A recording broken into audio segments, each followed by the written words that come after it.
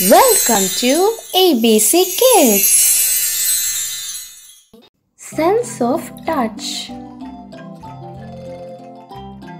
The objectives are the function of the skin, the importance of the sense of touch, ways of taking care of the skin. The skin is the largest organ of the human body that provides a protective barrier between the external environment and the internal organs. It helps regulate body temperature. Sense of touch. The sense of touch is the ability to perceive physical sensations through the skin, such as pressure, temperature, and texture. The texture of an object may be smooth, rough, soft, or hard. What objects feel smooth?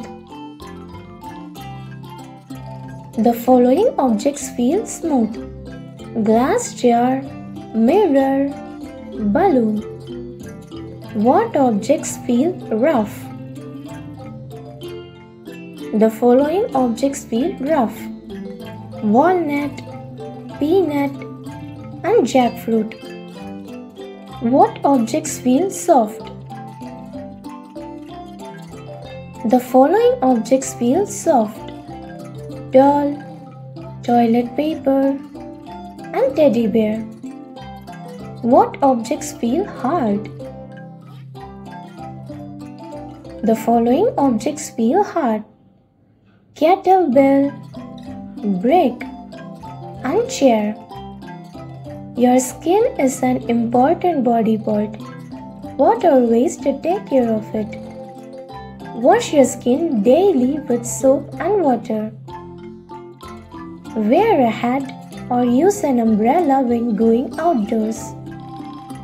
Eat fruits and vegetables that are good for your skin. Use a broad spectrum sunscreen.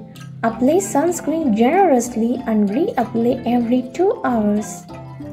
Thanks for watching. Hope you like the video. Subscribe for more videos. Ahaha ABC Kidz.